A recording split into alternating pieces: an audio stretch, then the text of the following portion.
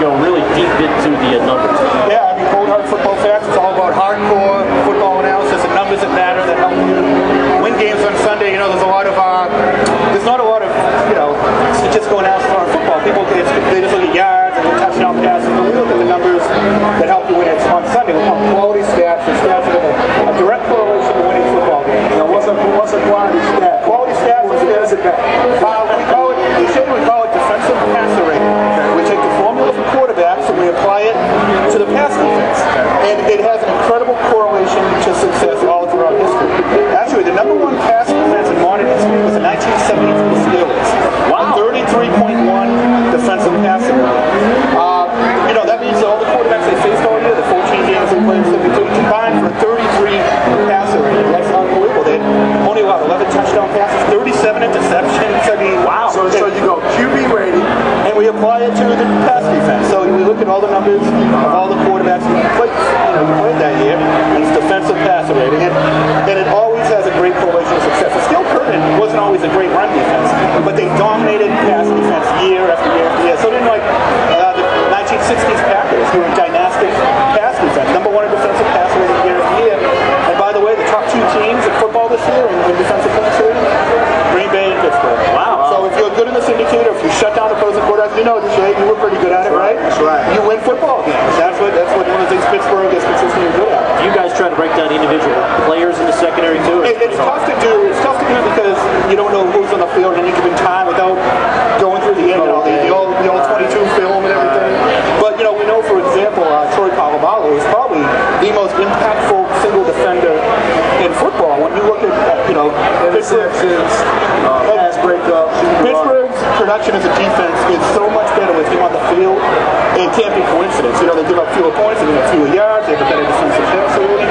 Uh, he is an incredibly impactful player that it's hard to quantify the impact of one player, but he's so good that you can do it with him. Kerry Byrne from ColdHardFootballFacts.com is our guest here on Trib Live Radio from Malarkey's Tavern and Sports Bar. DeShea Towns are two-time Super Bowl champions here. How did the Shea's uh, Super Bowl teams compare to the Steelers teams of the uh, 70s? Well, it's tough to compare because it was a different era. You know, what we call uh, the 1970s the dead ball era, it was just tough to pass. And then it was so the, the worst year for offense in, in modern history was 1977.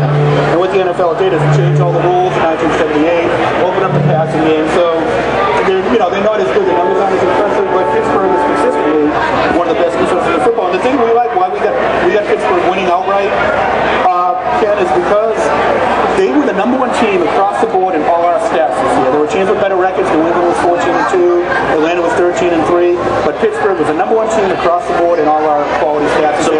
and by the way, the number one team in, in the NFC was, was Green Bay, even though they were the number six seed. So our numbers work. It's just what numbers we need to know. And, and the, the number one thing to know about Pittsburgh, they're a defensive hog dynasty. We measure their performance on every defensive front in football, and Pittsburgh is the closest thing to a defensive hog dynasty there is in football. They were number one, the number one defensive front in 2008. They won the Super Bowl. The Giants, by the way, the number one defensive front in 2007. They won the Super Bowl. Pittsburgh, the number one defensive front in football here in, here in 2010. So you guys, you, you were almost predicting Steelers Packers weeks ago. Uh, Based on- basically, I, I, and I hate to say it, I picked Green Bay to win the Super Bowl at the start of the year, but this year on Cold Hard Football Facts and with Sports Illustrated, our partners, we got Pittsburgh winning. So I'm kind of, yeah. some people say I'm flip-flopping or, or doing CYA, Ken, you know what I mean? But uh, so say I'm right, but uh, we, we got Pittsburgh. I think they're the better team. And that's changed throughout the year statistically. You're not saying that. You're looking at the data and saying Pittsburgh's the better football team on paper. Yeah, yeah, no, they absolutely are. They have no weakness. No weak. I know their offensive line is not good, but it's not a terrible. I know it's been terrible the last Yeah. previous couple of years. I think they were 14th or 15th on our offensive hog index, our measure of each offensive line. Now Marcus being out might be a big difference, uh, but still, you know, Ben Roethlisberger's proven he can he can play and produce with that chaos swinging around him. So I don't I don't think that'll be a factor as. Well, it's cool that you guys are you're hooked up with SportsIllustrated.com now, right? Yeah, I've been working with them for a couple of years. You know, we just uh, trying to bring advanced football analysis. You know, there's a baseball is a very mature Yeah. statistical marketplace, and people don't know what numbers to look at in, in football. Like uh, people talk about passing yards all the time. The number yards you give up doesn't matter. It's irrelevant. It's irrelevant. But the number of your defensive passer rating that we talked about earlier, deadly effective. It's really effective. Let's talk about. Uh, we look at like average per attempt. We look at efficiency. We, we've been saying for years Ben Roethlisberger is one of the top top two, three quarterbacks in football, and people don't appreciate him. He has the highest average per attempt of any quarterback of the last 50 years. Nobody knows that. He's more prolific than Peyton Manning, Tom Brady on a per attempt basis, and the reason Pittsburgh became a, a dominant power again in 2004 was because they had a they had a historically productive quarterback. Yeah, and that's almost uh, big play stat. If you hear uh, Steelers offensive coordinator Bruce Arians talk about that a lot, big chunks of yards. Uh, that shouldn't be disregarded. Again, we track what we call the big play index. Yeah. That measures how every team in football performs in those game-changing big plays. And, and Pittsburgh's the number two team in, in football this year. Now, New England was number one. It didn't help them, of course, against the Jets. But you know, Pittsburgh is a much better team at producing big plays than they're giving credit for. The image is of a you know a tough blue-collar, hard-nosed team, but they're a game-breaking big play team on both sides of the ball. I mean, look at the winning points came on a defensive touchdown against the Jets, and, and uh, my prediction is the, that the, the winning score will come on a defensive a defensive play again again this week or tomorrow. Interesting. And if you feel the Steelers are going to win, obviously that puts in Polamalu and Harrison into the spotlight. all, all those guys. I mean, they, you know, it's, a, it's the best group of linebackers in football. I mean, I, and, you know, when we measure the, you know, the defensive front, we, especially in the 3-4, you got to include the linebackers. It's- and there's game breakers up and down the lineup on both sides of the ball, and that's why that's why they win games. And I think their their image, the blue collar image they have around the country, that Steelers fans pride themselves on, it's, it's it's not exactly true. They are a big play exclusive team. You know, and we're joined by Kerry Byrne at ColdHardFootballFacts.com. I imagine because gambling is so prolific in this country, your site, I mean, there's got to be a ton of people looking for that edge with numbers that come to see you. Yeah, not that we condone gambling, but you know, but uh, we do pick every game against the spread. We've done it for two years in a row.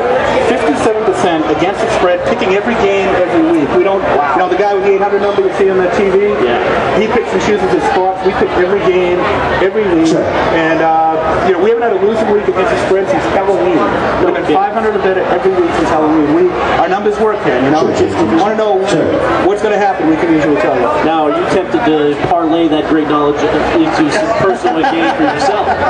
People ask me that all the time. They think I, I they think I, uh, I have uh, friends in that world. You know, I've never bet. I don't gamble at all. I think that's why maybe I'm detached emotionally. Are you a numbers guy, though? I mean, I'm a total stack geek. Yeah, yeah. I mean, I I started out when I was, uh, I think it was Super Bowl 17, the Redskins and the uh, probably before your time, Ken, the Redskins and the uh, and the Dolphins, and I was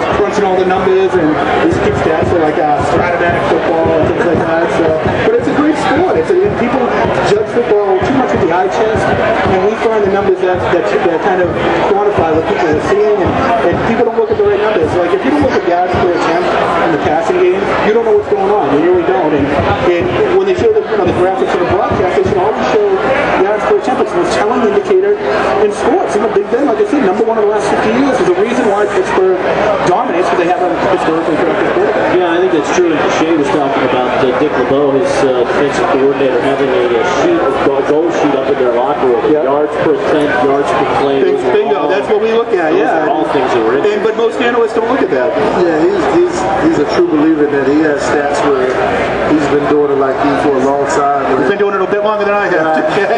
and he could tell you how to make your defense, what stats to keep you in the top five in the NFL Yeah, yeah. throughout throughout since defense been played. Yeah.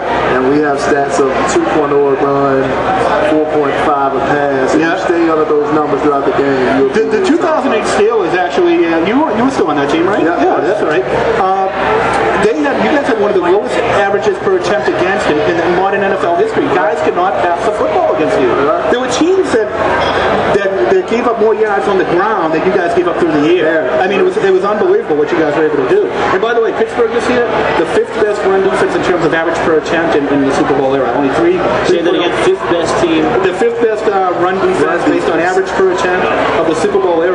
And the number one run defense, by the way, was the famous 2000 Ravens. They get up 2.7 yards per attempt, and Pittsburgh gives up 3.0. It's, a, it's an impressively built, you know, team. Football, NFL football is all about management, right, and all about stability, and, and nobody's done it better than Pittsburgh over the last 45 years. Here's what I want to know, the one angle of this game. When Shea and I were reading some quotes from uh, John Mitchell, the Steelers D line coach, and, and it sounds like he's of the mindset, if Green Bay wants to go five wide, fine. We're gonna we're coming after Aaron Rodgers and we're gonna get to him. How is Aaron Rodgers against the blitz he faces a lot of it? And how confident are you he's going to play well in his first Bowl? I think he's going to play very well. You can't you can't expect him to have a bad day. You really can't. Know, right now, he's the highest rated passer in NFL history.